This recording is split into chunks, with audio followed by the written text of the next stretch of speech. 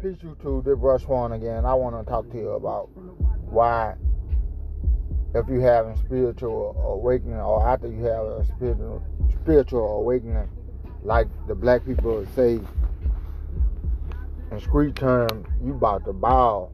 you finna bow out. You finna do more than bow. You finna have what you want. You finna have a car, house, your own business, and more. So you finna bow out. you gonna do more than bow. It's something you gonna manifest it so easily in your life afterward.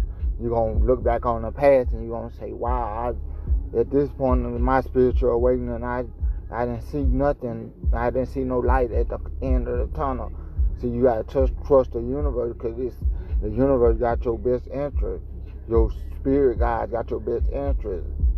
You know, source got your best interest.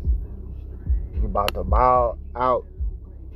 See, when you first going through your spiritual awakening, when you beginning or in the early stages of it, the matrix gonna script you everything. Probably you probably lose your job. The person you were dating don't want to date you no more. Uh, the people you live with probably kick you out because you are not bringing in income no more. But it's all part of a divine plan. And you got more than purpose here. You got more than purpose. You can look around and you'll see a lot of lost people and uh, people who can't find their way inside this matrix. See, that's not you. And sometimes they, if you go to these doctors and stuff like, yeah, they gonna diagnose, they gonna diagnose you with something. Cause these doctors, they get big, they get kickbacks from the big pharmaceutical companies. They're gonna misdiagnose you. All all you need is time for your spiritual, physical, and all to, you know, balance out.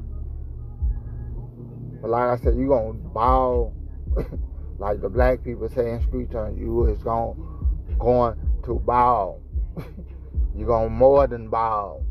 You're gonna have more than you ever thought you can have. Your life is going to be 20 times better.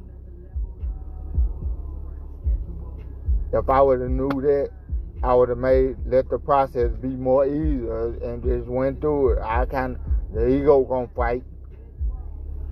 The ego is gonna fight because it's been there so long, and you know the ego good and bad. See, the ego gonna protect you too. The ego gonna have your guard, gonna make you have your guard up. The ego attached to your personality, but once you awaken, you don't go by ego, you go by heart frequency and the you know synchronicities and deja vu and all this stuff that happen in an awakened person's life. But like I said, you're gonna buy, you're gonna have a car, you're gonna have a house, you're gonna have mates if you want them, you're gonna have a, enough money,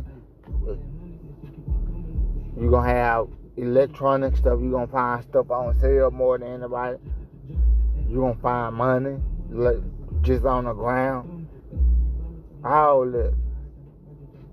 And if I would know that early in my spiritual journey, I, I wouldn't have never fought the process, but we all live and we learn. You will get there.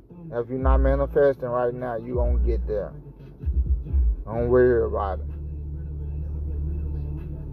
Gotta climb the ladder one step at a time. But like I said, you're gonna buy, you're gonna have a new model car, you're gonna have a house, you're have electronic devices, you're gonna you're to have it all, whatever you desire.